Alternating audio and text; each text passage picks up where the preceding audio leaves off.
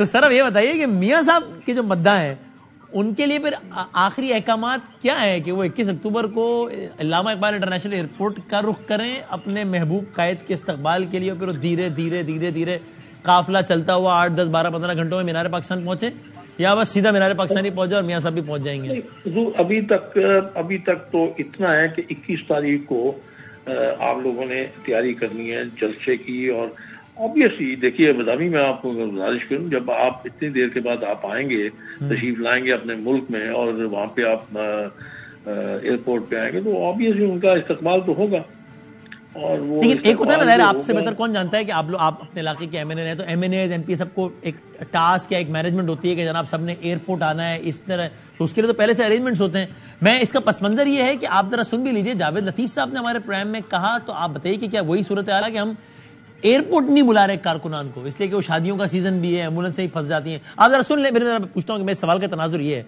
देखिए लतीफ साहब ने क्या कहा था? नहीं? एक ख्वाहिश और एक हम, एक चेंज पाकिस्तान के अंदर इस तरह की लेके आना चाहते हैं कि हमारे जलसे जुलूसों से जो वहाँ के उस शहरी हैं, वो डिस्टर्ब ना हो।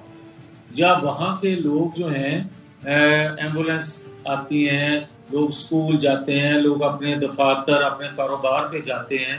हम एक पहले से बड़ी पुरानी ख्वाहिश थी मियाँ साहब की कि आप कोई भी जमात जलसा जुलूस करे कम से कम रोडों को ब्लॉक नहीं होना चाहिए। क्योंकि आवाम की तकलीफ़ का बाइस बनेगा नवाज़ शरीफ साहब भी कंसर्न है परेशानी हो जाएगी। बहुत तो इसलिए आप रहनुमाओं को अपने कारकुनान को एक कॉल नहीं दे रहे कि एयरपोर्ट पहुंचो फिर आहिस्ता आहिस्ता निकलो फिर यहाँ से चलो फिर यहाँ से चलो एक पंद्रह घंटे का काफिला हो ऐसी कोई कॉल नहीं दे रहे। आप बिल्कुल हम पाबंद कर रहे हैं कि इस्तकबाल नहीं तमाम लोग जलसा का आए और बनारे पाकिस्तान ही पहुँचे ताकि रास्ते में कोई शहरी डिस्टर्ब ना हो और जलसा कब होगा दिल की बात करने के मिसाल घंटे दो घंटे बाद जलसा होगा।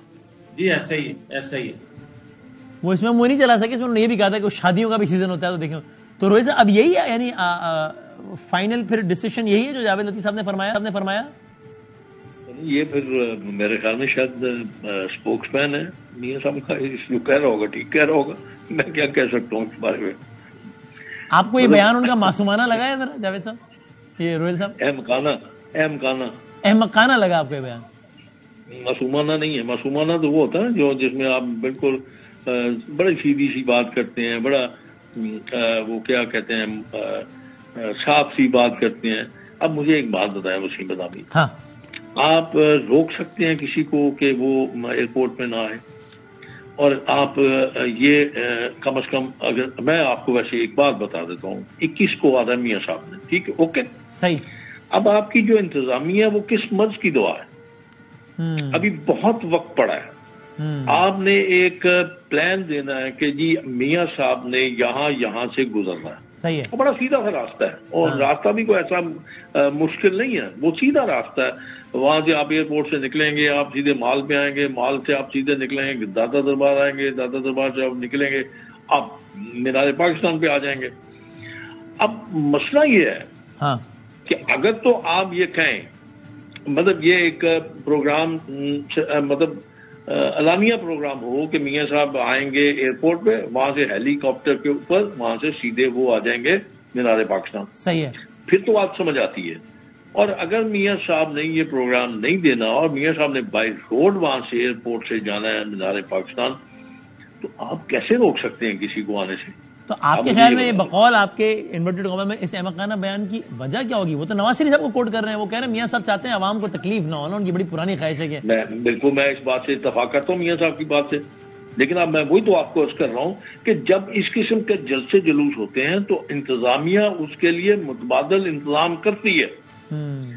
अब अब मैं आपको थोड़ा सा गुजारिश नहीं समझ रहा हूँ आप कह रहे हैं कि भाई पहले से रास्ता तय है डेट तय है वक्त तय है तो इंतजामिया को बता दिया जाएगा कि ये रास्ते ब्लॉक होंगे वो अकॉर्डिंगली अरेंजमेंट कर हैं सिंपल इसमें मसला क्या है? ये क्या अगर आप इजाज़त हाँ जी जी। मुझे वसीम अगर आप इजाज़त जी जी अब बहुत सारा डिपेंड करता है कि मियाँ साहब की फ़्लाइट कितने बजे है एक बात। सही।